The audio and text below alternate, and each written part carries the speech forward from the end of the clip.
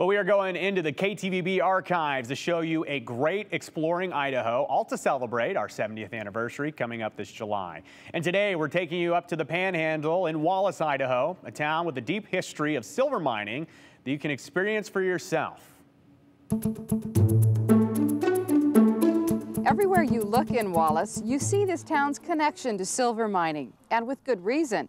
The mines in this area have produced a billion ounces of silver in less than 100 years. You can see and hear the story firsthand on the Sierra Silver Mine Tour. We tagged along on a school field trip. These Kellogg fourth graders have been studying Idaho history all year. They are today too, but today they're also tourists in their own backyard.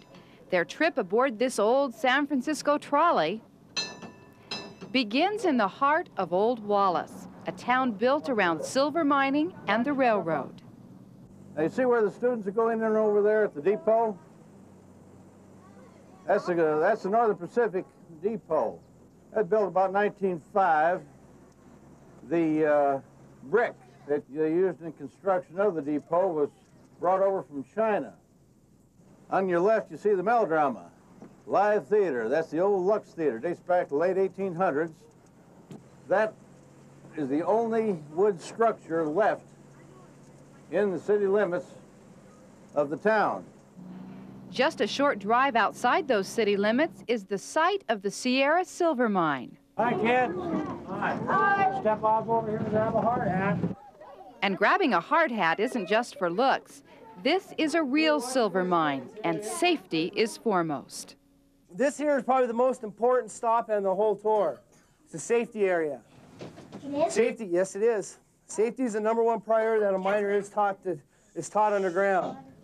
We asked one of those miners, George Barrett, to take us on ahead for a look at the life miners led in these tunnels. He spent 28 years here. I'm in here for 10 minutes and I'm kind of claustrophobic. Uh -huh. 28 years working in a mine. I mean, does it take a certain kind of person to be able to do that? No, it's just in this area that uh, it's a way of life. Is it a good life? Yeah, I liked it. Now you're taking kids on tours and telling them about that. And these kids have been studying Idaho history. Why is that important for them to understand? Well, because it was our way of life, it's our heritage. That heritage is one of danger and daring. You can see the pride in George's eyes when he talks about it, and as he wheels around this eight-ton mucking machine. This is the most dangerous piece of equipment in the mine. If there was such a thing as a widowmaker, this machine would have that name, widowmaker. But all machinery can be a widowmaker if it's misused. George hopes people will want to hear his stories of the old mining ways because he says for the most part they're over. And now he and others are building what they hope will be a gold mine. Tourism. Idaho's history is mining. At one time, you'll see our signs downtown says silver capital of the world.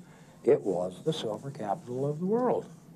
The world's silver came right from the Wallace, Idaho area. Wallace, Idaho, also the center of the universe. And did you know you can still go to the Sierra Silver Mine Tour in Wallace today?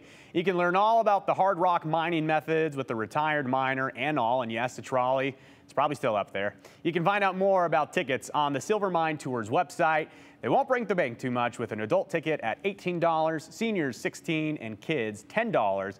Fun way to get out of the valley and go spend a summer day. Again, Wallace is the center of the universe. Just ask someone there about it.